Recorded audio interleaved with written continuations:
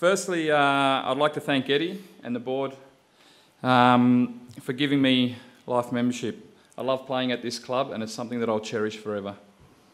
To all the great people that I met during my time here, to the coaches I had, Shawry, uh, Leigh, and you know a few others, um, to my teammates um, who helped me in shaping me, not only as a player but also as a person.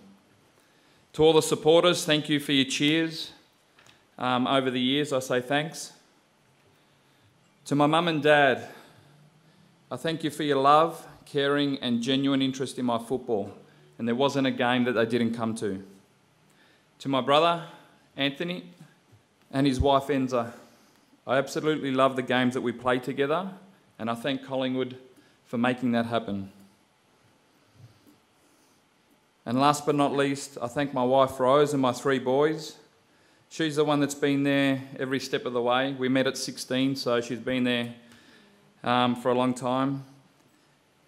She was there through every surgery, every moan and groan, and all the times that I come home shitty because we didn't win.